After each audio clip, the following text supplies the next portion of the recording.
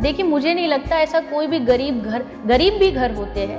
अपने गरीब का अर्थ सिर्फ धन से ही नहीं होता है मानसिकता भी एक गरीबी है